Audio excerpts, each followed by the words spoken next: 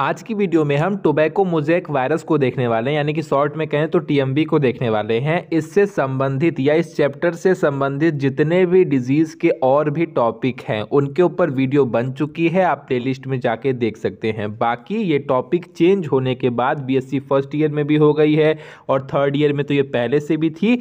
तो अगर आपके सलेबस में ये टॉपिक है तो आप किसी भी क्लास में पढ़ते हो, आप इसे देख सकते हैं। अब आइए अब बात करते हैं टीएमबी की, यानी कि टोबैको मोजेक वायरस की। देखिए तो जिस तरीके से हमने सबको पढ़ा है, वैसे ही एकदम लाइन बाय लाइन सब चीज़ को क्लियर करते जाएँगे। सबसे पहले बात करते हैं नेम ऑफ़ डिज़ीज़ की, हमें पता है टोबैको मोजेक डिज़ीज़। बात की जाए पैथोजन क्या है, किसकी वजह से, किस पैथोजन की वजह से ये डिज़ीज़ हो रही है, नाम है उसका टीएमवी यानी कि टोबैको मोजेक वायरस। अब ये टोबैको मोजेक वायरस नाम क्यों पड़ा है, वो अभी आगे बताएँगे चिंता ना करिए। तीसरी बात होस्ट प्लांट क्या है? होस्ट प्लांट आपको पता ही है, जो तंबाकू होता है, तंबाकू का ही पौधा होता है और उस पौधे का साइंटिफिक नेम होता है निकोटीना टोबैकम, ठीक है? निकोटीना टोबैकम नाम होता है तंबाकू के पौधों का साइंटिफिक नेम होता है तो ये हो गया उसका होस्ट प्लांट। और उस प्लांट के कौन से पार्ट को इन्फेक्टेड करता है? तो सिंपल सी बात है, जो प्लांट की पत्तियाँ होती हैं, जो लीव्स होता है, उन्हीं के ऊपर ये अपना अपना असर दिखाता है, या कह सकते हैं अपना कार्यक्रम शुरू करता है। तो ये हो गई हमारी काम भर की जानकारी। अब बात आएगी कि ये होता तो वायरस की वजह से है, ठीक है? वायरस, अब वायरस क्या होता है? इस चीज़ के बारे में हमने पूरी डिटेल वीडियो बनाई है। ये रही उसका आप देख सकते हैं, प्लेलिस्ट में जाके आप वहाँ से भी देख सकते हैं। और कोशिश करूँगा कि डिस्क्रिप्शन में लिंक डाल दूँ, भूलू ना, ठीक है? आगे सुनिए। हाँ तो वायरस को आप क्या कह सकते हैं? हमने पिछली वीडियो में बताया है, यहाँ पे भी हम हल्का समझा दे रहे हैं। वायरस आपका एक अल्ट्रा माइक्रोस्कोपी न्यूक्लियो प्रोटीन का पार्टिकल होता है, ठीक है? ऑर्गेनिज्म नहीं कहेंगे। रीज़न ये है कि कभी मरा रहता है और कब ज़िंदा रहता है हमको पता नहीं चलता है। बात यह है कि वायरस को ना तो लिविंग थिंग्स में गिना जाता है और ना ही नॉन लिविंग थिंग्स में गिना जाता है। इसी वजह से ऑर्गेनिज्म न कहते हुए हम ये कह रहे हैं कि न्यूक्लियो प्रोटीन से बना एक पार्टिकल होता है। कौन जाए ऑर्गेनिज्म कह के फंसने? क्योंकि कब ये ऑर्गेनिज्म रहता है और कब मरा हुआ रहता है, पता नहीं चलता है। भगवान जाने का ही है ही। तो इसीलिए इसे कनेक्टिव लिंक माना जाता है नॉन लिविंग थिंग्स और लिविंग थिंग्स के बीच का, यानी कि मतलब जीवित चीज़ और नॉन लिविंग थिंग्स के बीच का कनेक्टिव लिंक माना जाता है। हिंदी में क्या कहते हैं नॉन लिविंग थिंग्स को? पता नहीं, अभी याद नहीं आ रहा है। मतलब सजीव और निर्जीव हाँ ये ये वर्ड सही है। सजीव और निर्जीव के बीच का कनेक्टिव लिंक माना जाता है, ठीक? तो ये बातें आप क्लियर रखिएगा। अल्ट्रा माइक्रोस्कोपिक कहने का रीज़न ये है कि बहुत ज़्यादा ही ये सूक्ष्म होते हैं। माइक्रोस्कोपिक नहीं है अल्ट्रा माइक्रोस्कोपिक है। नॉर्मल माइक्रोस्कोप की सहायता से तो इसको हम देख ही नहीं सकते हैं। इसको देखने के लिए इलेक्ट्रॉन माइक्रोस्कोप की ज़रूरत पड़ती है। उसके माध्यम से इसको हम अच्छे से देख पाते हैं। इसी वजह से माइक्रोस्कोपिक नहीं, अल्ट्रा माइक्रोस्कोपिक होता है। ये चीज़ें भी आप क्लियर रखिएगा। इसे सबसे पहले किसने खोजा था? तो इसे 1892 में रूसी एक वैज्ञानिक थे जिनका नाम था दिमित्री इवानोस्की। उन्होंने 1892 में सबसे पहले इसे डिस्कवर किया था। और जब मैं मेरे टाइम में भी था, यानी कि एक से डेढ़ साल पहले तो मुझे भी यही पढ़ाया जाता था कि ये पहला खोजा जाने वाला वायरस है, जो यही ये वायरस है, जो सबसे पहले खोजा गया वायरस है। यानी कि सबसे पहले जिस वायरस को खोजा गया था, वो आपका टोबैको मोजेक वायरस ही है। अब इस चीज़ को सुनने के बाद हम जब पढ़ रहा था, उस टाइम पे भी हमारे मन में खत, ये मतलब एक बात खटकी थी कि ऐसा कैसे हो सकता है? टोबैको मोजेक वायरस ही पहला वायरस है, जिसे सबसे पहले खोजा गया, वो भी 1892 में। अगर ऐसा है तो ये बताइए कि जो 1716 में एडवर्ड जेनर ने चेचक डिज़ीज़ के बारे में बताया था और बताया कि ये डिज़ीज़ वायरस की वजह से होती है तो फिर वो क्या था? जब अगर हम इससे पहले 1892 से पहले हम वायरस के बारे में कुछ जानते ही नहीं थे, वो सबसे पहला वायरस है जिसे खोजा गया था तो वो 1716 में एडवर्ड जेनर ने चेचक डिज़ीज़ को खोजा और बाद में बताया कि ये वायरस की ही वजह से होता है। ये क्या है? अरे, रे रे रे क्या कर रहे हो मालिक? ये सब बच्चों को नहीं पता है। इसको छोड़ के भागो। काहे लिए अभी फंस जाओगे? तुम भी जवाब नहीं दे पाओगे तो क्या होगा? रहने दो रहने दो, छोड़ दो छोड़ दो। आगे बढ़ जाओ, आगे बढ़ के बताओ, आगे। तो इस चीज़ को हमने पूछा भी, लेकिन उन्होंने कुछ खास बताया नहीं। तो आपके भी ऊपर है। आपको जो लगे आप देख लीजिएगा। हमने इसके ऊपर जब गहरा रिसर्च किया तो हमें जहाँ तक समझ में आया, वो ये समझ में आया कि आप ये ज़रूर कह सकते हैं कि प्लांट में खोजा जाने वाला सबसे पहला वायरस आपका टीएमवी है। लेकिन वर्ड करेक्ट करना पड़ेगा। वर्ड ये करेक्ट करना पड़ेगा कि प्लांट में खोजा जाने वाला सबसे पहला वायरस आपका टीएमवी, यानी कि टोबैको मोजेक वायरस है। लेकिन अगर बात की जाए वायरस की तो वायरस तो भैया पहले भी खोजा जा चुका है। एडवर्ड जेनर ने 1716 में चेचक के बारे में बता दिया। तो वो जब बताया कि ये वायरस की वजह से होता है तो वहाँ पे भी तो उसको खोजा तो जा ही चुका है। तो ये चीज़ कह सकते हैं, लेकिन ये मेरा अपना मानसिकता कहती है, बाकी जो भी हो, मुझे जो लगता है, मेरे रिसर्च के हिसाब से जो मुझे सही लगता है, वो मैंने आपको बता दिया। बाकी किताबों में भी कुछ ऐसा ही लिखा हुआ है कि हाँ सबसे पहला खोजा जाने वाला वायरस आपका टी ही होता है। तो क्या कर सकते हैं? जो लिखा है लिखा है, वो आपकी जो श्योर सीरीज़ और पता नहीं क्या क्वेश्चन बैंक सैंक आता है, उसमें भी यही सब चीज़ें हैं। लेकिन कोई बात नहीं, हम अपनी तरफ़ से चलते हैं। हमारी अपनी मानसिकता जो हमको लग रहा था, वो हमने आपके मन में डाल दिया। बाकी आप खुद भी रिसर्च करके पता कर सकते हैं। बहुत छोटी सी चीज़ें हैं, पता हो जाएगी। चलिए अब आगे चलते हैं। हाँ एक वर्ड और रह गया है कि टोबैको के साथ मोजैक वर्ड क्यों पड़ा? ठीक है मोजैक वर्ड का क्या रीज़न है? मोजैक से आप ऐसे समझिए, चूँकि जिस पैटर्न में या जिस क्रम में वहाँ पे दाग होते हैं, वो मोजेक की आकृति की तरह होते हैं, ठीक है? उसके जैसा एक स्ट्रक्चर बनाते हैं। चूँकि टोबैको के प्लांट पे हो रहे थे मोजेक जैसी आकृति बना रहे थे और वायरस थे तो इसी वजह से टोबैको मोजैक वायरस इसका नाम पड़ गया, ठीक है? मोजैक का सही मीनिंग मतलब क्या समझाऊँ आपको? ऐसे समझिए सिंपल सी बात है कि क्या होता है कि पहले जहाँ जहाँ पे वो वायरस रहता था, वहाँ के पार्ट वो सूख जाते थे या कह सकते हैं हल्का पीला हो जाते हैं क्योंकि वहाँ के क्लोरोफिल मर जाते थे। फिर थोड़े से बगल वाला पार्ट हरा रहता था। फिर उसके जस्ट बगल में फिर से वो पार्ट पे वायरस इन्फेक्टेड होता था तो वो पार्ट सूख गया रहता था या पीला हो गया रहता था। फिर हरा, फिर सूखा, फिर हरा। तो एक तरीके से क्या है, ये एक तरीके से मोजैक पैटर्न बना रहा है। मोजैक पैटर्न का मतलब ऐसे समझिए मैथ की कॉपी आती थी पहले? अच्छा छोड़िए, चेस देखा है ना आपने? चेस में एक काला, एक सफ़ेद, काला सफ़ेद काला, सफ़ेद नहीं है। वैसे ही इनकी पत्तियों पर वो सूखा हुआ पार्ट और फिर हरा, फिर सूखा हुआ पार्ट, फिर हरा, फिर सूखा हुआ पार्ट, या हरा, या ऐसे कह सकते हैं इन्फेक्टेड पार्ट और सही पार्ट इन्फेक्टेड पार्ट सही पार्ट इन्फेक्टेड पार्ट सही पार्ट तो इस तरीके से क्या हुआ? एक तरीके से पैटर्न बन जा रहा है कि नहीं? एक सही, एक गलत, एक सही, एक गलत वाला? तो इसी को कहते हैं मोजेक पैटर्न ठीक है? तो इसी वजह से इसका नाम टोबैको मोजेक वायरस पड़ा, ठीक है? अब आपका बात क्लियर हो गई होगी।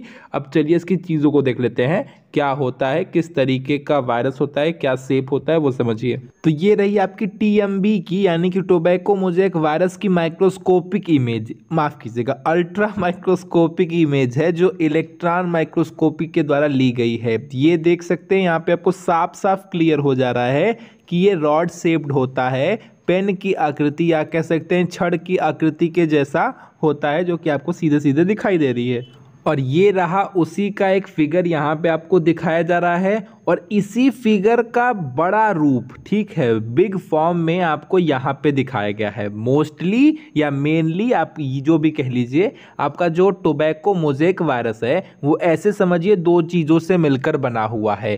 क्या क्या? वायरस आपका वैसे मेनली दो चीज़ों से मिलकर ही बना होता है। कौन कौन सा? एक तो आपका न्यूक्लिक एसिड और दूसरा आपका प्रोटीन से, ठीक है। न्यूक्लिक एसिड का मतलब डीएनए या आरएनए और प्रोटीन मतलब जो उसकी बाहरी लेयर होती है, वो प्रोटीन कोट की होती है, जिसे हम कैप्सिड के नाम से जानते हैं और वो जो कैप्सिड है, वो बहुत सारे कैप्सोमियर से मिलकर बना होता है।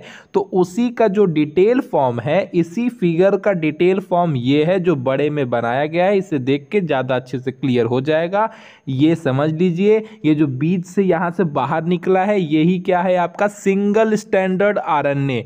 ठीक है? टोबैको मोजेक वायरस के अंदर क्या प्रेजेंट होता है? जेनेटिक मटेरियल में सिंगल स्टैंडर्ड आरएनए प्रेजेंट होता है। ये आपका हेलिकल फॉर्म में है। आप देख रहे हैं कैसे गोल गोल है। अंदर से खोखला होता है। इसी खोखले वाले पार्ट में ही आपका आरएनए यानी कि सिंगल स्टैंडर्ड आरएनए आपका प्रेजेंट होता है।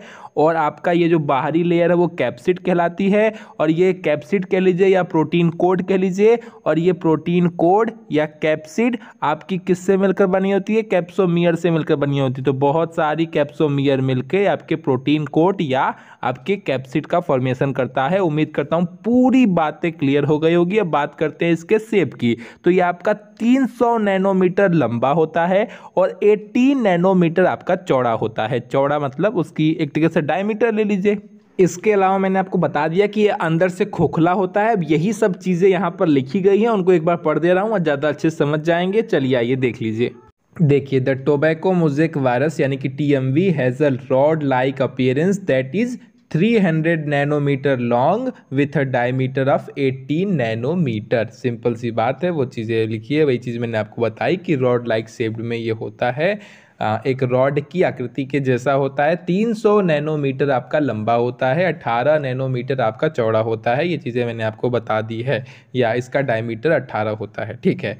आपका किससे मिलकर बना होता है? तो ये यहाँ पे लिखा है it is covered by a protein shell ठीक है? तो ये जो वायरस होता है, वो प्रोटीन के सेल से, टीएमवी होता है, वो प्रोटीन सेल से कवर होता है। उसी को प्रोटीन कोट या कैप्सिड के नाम से जानते हैं, ठीक है? तो अगर पूछा जाए कि कैप्सिड किससे मिलकर बना होता है तो प्रोटीन से मिलकर बना होता है, ठीक है? प्रोटीन कोट कह लीजिए, कैप्सिड कह लीजिए, बात वही हो गई। इसके अलावा जो आपका वायरस होता है उसके अंदर का जो जेनेटिक मटेरियल होता है, वो उसी कैप्सिड के अंदर होता है। यानी कि जो जेनेटिक मटेरियल होता है, वो कैप्सिड से घिरा होता है या प्रोटीन कोट से घिरा होता है और ये जो कैप्सिड होती है, वो बहुत सारी कैप्सोमियर से मिलकर बनी होती है। बहुत सारी कैप्सोमियर्स आपस में मिलकर आपकी कैप्सिड का फॉर्मेशन करती हैं, ठीक है? और इसी कैप्सिड के अंदर ही आपका क्या होता है? जेनेटिक मटीरियल होता है। और यहाँ पे जेनेटिक मटीरियल यानी कि टी में जेनेटिक मटेरियल का काम कौन करता है? सिंगल स्टैंडर्ड आरएनए कौन करता है आपका? सिंगल स्टैंडर्ड आरएनए ये बात क्लियर रखिएगा। मैंने आपको वायरस वाले टॉपिक में बताया था कि वायरस के अंदर दो चीज़ पाई जाती है समझिए। एक आपका जेनेटिक मटेरियल और दूसरा आपका प्रोटीन कोड या कह लीजिए कैप्सिड तो जेनेटिक मटेरियल में डीएनए या आरएनए होता है, लेकिन बात हम यहाँ पे टीएमवी की कर रहे हैं, ना कि वायरस की। तो टोबैको मोजेक वायरस में जेनेटिक मटेरियल के रूप में सिंगल स्टैंडर्ड आरएनए प्रेजेंट होता है। Single standard RNA molecule present होता है, ये बात समझ लीजिए। ये जो फिगर दिख रही है, ये फिगर देख ही रहे हैं आप, खोखला होता है हेलिकल शेप में होता है, और देख ही रहे हैं किस तरीके से गोला गोला घुमा हुआ है, बीच में जगह होती है, और ये जो बीच में जगह होती है, यहीं पे ही आपका सिंगल स्टैंडर्ड आरएनए प्रेजेंट होता है, और यह आरएनए वायरस के थोड़ा सा बाहर भी निकला रहता है, जो कि आपको फिगर में देखने से साफ़ साफ़ क्लियर हो जा रहा है। ये पूरी चीज़ें है, ये आपका कैप्सोमियर है, बहुत सारा कैप्सोमियर मिलकर बना होता है, ये सब चीज़ें लिखी है। ख़त्म। कहानी ख़त्म। और सुनिए, जो आपका कैप्सिड है ना, ये कैप्सिड आपके 2130 कितना? 2130 आपके कैप्सोमियर के मॉलिक्यूल से मिलकर बना होता है, ठीक है? जो प्रोटीन कोट है या कैप्सिड है, जो भी कह लीजिए, ये 2130 कैप्सोमियर के मॉलिक्यूल से मिलकर बना होता है। आप उम्मीद करता हूँ चीज़ें समझ पा रहे हैं और उसके एक हेलिकल के स्ट्रक्चर में मतलब ऐसे समझिए, कई टर्म में वो बना रहता है जो आपकी देखने में भी समझ में आ रहा है कि ये किस तरीके से हेलिकल फॉर्म में है। इसके एक चक्कर में, एक हेलिकल के चक्कर में, या समझिए एक गोला जब ये घूमता है, उसमें 16.3 प्रोटीन के पार्टिकल्स होते हैं, या आपके कैप्सोमियर के पार्टिकल होते हैं, या कैप्सोमियर के मॉलिक्यूल होते हैं। इसके तीन चक्कर में, तीन चक्कर में, ये तो एक चक्कर की बात करें तो अगर बात की जाए तीन चक्कर की तो मोटी मोटा कह सकते हैं 49 49 कैप्सोमियर के पार्टिकल होते हैं। इसी तरीके से आप अंदाज़ा लगा सकते हैं, ठीक? उम्मीद करता हूँ चीज़ें समझ में आ रही होगी। ये नहीं कि आप मेरे कहने से मान लीजिए। देखिए, बात समझिएगा, जब ये एक राउंड हुआ, फिर दो राउंड, फिर तीन राउंड, ऐसे ही ना मिलके ये पूरा बना होगा। तो ये जिसका एक राउंड कंप्लीट हो रहा है, उसमें 16.3 प्रोटीन के मॉलिक्यूल हैं। तो तीन राउंड में देखा जाए तो मोटी मोटा कह सकते हैं कि 49 मॉलिक्यूल के मतलब प्रोटीन मॉलिक्यूल के पार्ट हैं। तो बस उसी तरीके से ये पूरा कंप्लीट होता है और हमें पता है कि जो पूरा कैप्सिड है या प्रोटीन कोट है, वो इक्कीस कैप्स कैप्सोमियर से मिलकर बना हुआ है। ये खास प्रकार का जो हर एक वायरस में अलग अलग ये संख्या हो सकती है। टीएमवी की हम यहाँ पे बात कर रहे हैं तो टीएमवी में जो प्रोटीन कोड होता है, वो 2130 कैप्सोमियर से मिलकर बना होता है। अब कोई डाउट नहीं होना चाहिए। हमने बताया था कि ये 300 मीटर 300 नैनोमीटर आपका लॉन्ग होता है और 18 नैनोमीटर का डायमीटर होता है, यानी कि इसकी चौड़ाई होती है। लेकिन जो वो खोखला वाला पार्ट है उसकी चौड़ाई की सिर्फ़ बात की जाए उस खोखले वाले पार्ट से ही वो जो खोखला कैविटी वाला पार्ट है जहाँ से आपका सिंगल स्टैंडर्ड आरएनए बाहर निकला हुआ है वहीं पे वो स्थित रहता है वो वाला पार्ट की बात की जाए तो वो चार नैनोमीटर आपका आ, होता है। उसकी जो डायमीटर की बात की जाए उसकी तो वो चार नैनोमीटर की होती है चार नैनोमीटर। और आपको भी पता है कि ये पूरा पार्ट क्या होता है? खोखला होता है। बीच में स्पेस होता है कैविटी होती है जहाँ पे आपका सिंगल स्टैंडर्ड आर प्रेजेंट होता है। उम्मीद करता हूँ सारी बातें क्लियर हो चुकी होंगी। अब समझिए, जो ये कैप्सोमियर होता है, ठीक है? अब तक तो हमने जाना कि जो कैप्सिड होता है, वो इक्कीस सौ कैप्सोमियर से मिलकर बना होता है। लेकिन अब बात की जाए आपके एक कैप्सोमियर की तो एक आपका कैप्सोमियर एक सौ अमीनो एसिड के मॉलिक्यूल से मिलकर बना होता है। एक कैप्सोमियर 158 अमीनो एसिड के मॉलिक्यूल से मिलकर बना होता है। उम्मीद करता हूँ ये चीज़ भी समझ गए होंगे तो आपका कैप्सिड इक्कीस सौ तीस 2130 कैप्सोमियर से मिलकर बना होता है और आपका एक कैप्सोमियर 158 अमीनो एसिड से मिलकर बना होता है। हेलिकल फॉर्म में होता है, यानी कि कुंडलित होता है। आपको पता ही है, कुंडली के फॉर्म में है ही। आपको देखने से, ये ऊपर से इमेज देखने में भी समझ में आ रही है। चार मीटर की, चार नैनोमीटर की, माफ़ कीजिएगा, उसके अंदर हॉलो कैविटी होती है मतलब खोखली जगह होती है, जहाँ पे आपका आरएनए प्रेजेंट होता है। ये पूरी टॉपिक आपकी यहाँ पर खत्म हो गई। जेनेटिक जेनेटिक मटेरियल के रूप में टीएमवी के अंदर कौन प्रेजेंट होता है? तो मैंने आपको बता दिया है कि आपका सिंगल स्टैंडर्ड आरएनए प्रेजेंट होता है। वायरस के अंदर डीएनए और आरएनए दोनों हो सकते हैं जेनेटिक मटेरियल के फॉर्म में। लेकिन यहाँ पे हम एक स्पेशल टाइप के वायरस टीएमवी की बात कर रहे हैं। यहाँ पे जेनेटिक मटेरियल के रूप में कौन प्रेजेंट है? आपका सिंगल स्टैंडर्ड आरएनए प्रेजेंट है। खत्म। अब हम बात करेंगे इसके सिम्टम्स या कुछ अन्य चीज़ों की। एक्सक्यूज मी मालिक ये नहीं बताया कि ये जो सिंगल स्टैंडर्ड आरएनए है, वो किससे मिलकर बना होता है? सबका तो समझ में आता है, इसका क्यों नहीं बताया, मालिक? बैल हो क्या? बिल्कुल टैटर ये तो सबको पता होता है कि जो जेनेटिक मटेरियल होता है, वो न्यूक्लिक एसिड यानी कि न्यूक्लियोटाइड से मिलकर बना होता है, और ये भी न्यूक्लियोटाइड से मिलकर बना होता है। तो बात की जाए सिंगल स्टैंडर्ड आरएनए कितने न्यूक्लियोटाइड से मिलकर बना होता है? तो ये 6400 यानी कि चौसठ न्यूक्लियोटाइड से मिलकर बना होता है। तो इस चीज़ को भी नोट कर लीजिएगा, क्या है कि हम भूल गए थे? अच्छा हुआ टटर ने याद दिला दिया। तो सिक्सटी न्यूक्लियोटाइड से मिलकर आपका सिंगल स्टैंडर्ड आरएनए बनता है और वो सिंगल स्टैंडर्ड आरएनए उसी खोखले स्थान में रहता है, जो मैंने आपको बताया था। या आप इस तरीके से भी कह सकते हैं कि सिंगल स्टैंडर्ड आरएनए आपके प्रोटीन कोड से घिरा हुआ होता है, जो भी मन में आए आप कह लीजिएगा। बात की जाए इनके सिम्टम्स की तो देखिए, पत्तियों में क्लोरोसिस हो जाता है कर्लिंग हो जाती है, पत्तियाँ छोटी रह जाती है डार्क रह जाती है डिस्टॉर्टेड हो जाती है, यानी कि विकृत हो जाती है, खराब हो जाती है, पत्ती उस उस हिसाब से अपना सेप नहीं ले पाती जैसा पत्ती का नॉर्मल सेप होता है। यही सब चीज़ें होती हैं। तो जब क्लोरोसिस होता है तो सिंपल सी बात है, वहाँ की जो क्लोरोफिल होती है, वो मर जाती है, सही से क्लोरोफिल का फॉर्मेशन नहीं होता है। अब जब क्लोरोफिल सही से नहीं बनेगा तो वही तो पत्ती को ग्रीन रखने में हेल्प करता है। अब वही नहीं रहता है तो पत्तियाँ वहाँ की पीली पड़ने लगती हैं, सूखने लगती हैं, यही सब चीज़ें होती हैं, यही तुम आपको बता रहे थे। इसकी वजह से पौधे की ग्रोथ में भी रुकावट होती है जब खासकर पत्तियाँ आपकी इन्फेक्टेड हो जाएँगी तो पत्ती उस हिसाब से आ, खाना का फॉर्मेशन नहीं करेगी और नहीं करेगी तो फिर मतलब धूप को एब्जॉर्ब नहीं करेगी तो ढंग से आ, जो प्लांट की ग्रोथ है वो हो नहीं पाती है। फूल बहुत कम आते हैं यही सब चीज़ें होती हैं। आपको पता ही है हम लिख देंगे आसानी से पढ़ लीजिएगा इसमें क्या बहुत नई चीज़ है ठीक है? तो आप देख लीजिएगा ठीक है? डिस्टॉर्टेड मतलब होता है पत्तियाँ अपना सेप नहीं ले पाती हैं खराब हो जाती हैं। आपका कर्लिंग मतलब जो मुड़ मुड़ नहीं जाती हैं, ऐठन पड़ जाती है तो वो हो जाता है। ठीक है? डार्फिज्म मतलब पत्तियाँ छोटी रह जाती हैं प्लांट छोटा रह जाता है, उसका ग्रोथ नहीं होता उस हिसाब से, यही सब चीज़ें हैं, यहीं पे कहानी खत्म। अब हम बात करते हैं इसके क्योर की, किस तरीके से हम इससे बच सकते हैं। अब हम लोग इतना डिज़ीज़ के बारे में पढ़ चुके हैं कि उसके कंट्रोल मेथड के बारे में तो हमको अंदाज़ा हो गया है। कुछ कुछ चीज़ें तो एकदम फिक्स है कि जो हर में रहेगी, जैसे कि जो भी फ़ील्ड की सॉइल है, उसकी सैनिटाइजेशन करना, पहले उसको सैनिटाइज कर लीजिए। जो भी उसमें पहले से प्रेजेंट आपके बैक्टीरिया या वायरस है, यहाँ पे वायरस की बात चल रही है तो उनको टपका दीजिए। दूसरी चीज़ कि आपका सर्टिफाइड सीड्स का यूज़ करिए। ये ना कि आलतू फालतू जौने बीज उठाया, खोज दिया, ना। जो सर्टिफाइड बीज है, जो इन्फेक्टेड नहीं है, उस तरीके की बीज का आप यूज़ करिए। तीसरी चीज़, आपकी रजिस्टेंट वैरायटी यूज़ करिए, ऐसी वैरायटी यूज़ करिए जिनमें रोग लगने का खतरा बहुत कम हो। सिंपल सी बात है। उसके अलावा आसपास का जो घास फूस होता है, उसको साफ़ सफैया कर दीजिए, वरना आप उस पर आके रह सकते हैं। तो यही सब कॉमन सी चीज़ें हैं और जो भी आप इक्विपमेंट इस खेत में यूज़ करें, पहले उसको सैनिटाइज कर लें, उसको स्टेलाइजेशन के बाद ही कहीं इसमें यूज़ करें, वरना आपकी क्या है, उस तरीके से भी आपका वायरस आपके फ़ील्ड में, आपके खेत खेत में आ सकता है। यही सब कॉमन सी चीज़ें आप इसे लिख सकते हैं, आपको सब पता ही है। आप लोग एक्स्ट्रा टैलेंटेड है तो उम्मीद करता हूँ चीज़ समझ में आ गई होगी। आज की बस इतना ही। वीडियो पसंद आएगी तो लाइक शेयर सब्सक्राइब करिएगा बहुत पसंद आएगी तो कमेंट कर लीजिएगा। बेल आइकॉन ऑन नहीं किया, तब तक बेल आइकॉन ऑन कर लीजिए। ठीक है, टाटा बाय बाय कुछ प्यारा सा कमेंट कर लीजिए।